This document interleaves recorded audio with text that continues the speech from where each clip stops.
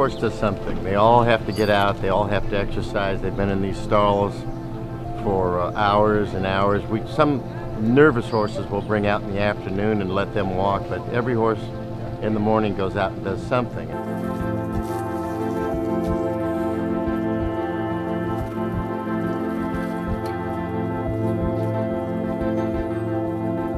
We're challenging her. We're really stepping up to the plate. and We're going to run against the boys, which a lot of people don't do in, in, in, in the U.S.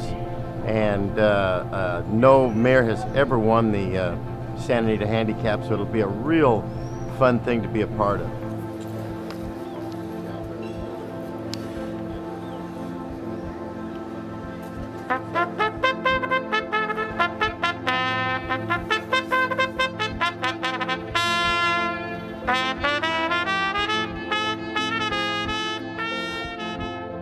You know what?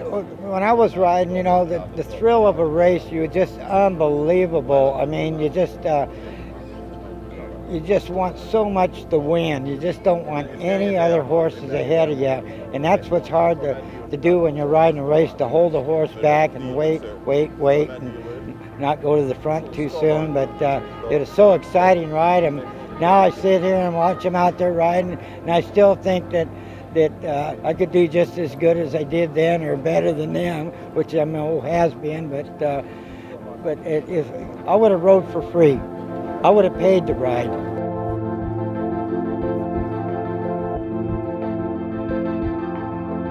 Oh, a lot of money on my credit card. It's the only way I can get it back. Honey. You think I'm kidding? I hit the $21 winner in the first race.